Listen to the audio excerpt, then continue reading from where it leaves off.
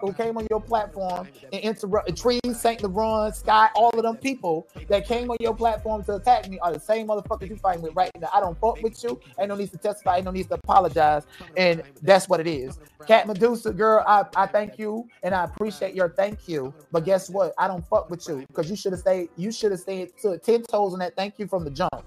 You didn't. You never even had to say thank you. Your actions speak louder than the word and your action was like you're going to create a, a, harmful environment for everybody to come over there and attack me, sassy girl, and all of them, Leilani for God, bitch. I don't even fucking know you. That's the first bitch to make a video about me on YouTube, and I still ignored that bitch until you gave her a space to come on your platform to use my name as a catalyst. Bitch, I don't even know that hoe up in New York. Bitch, I hope somebody kill her. Yes, I know that hoe up in New York. Bitch, I hope somebody kill her. Let's know that hoe up in New York. Bitch, I hope somebody kill her. That's how I fucking feel. Talking that shit about me, targeting me. Eight months later, you still talking about me. You get you did a video. You the first motherfucker who did a video, and I never paid attention to you, even though you got seven, eight thousand clicks and views off. I still didn't pay attention to you.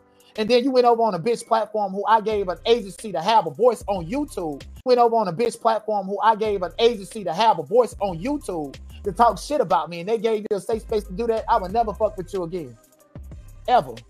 And if anybody got a problem with anything that I'm saying, here's the link. Can y'all super chat me, uh, send me some cash app or something before I get the fuck up out of here? I'm giving y'all free, unmonetized motherfucking content. Y'all got to pay me to go back and forth with these motherfuckers at this point. They've been packed up. We don't give a fuck.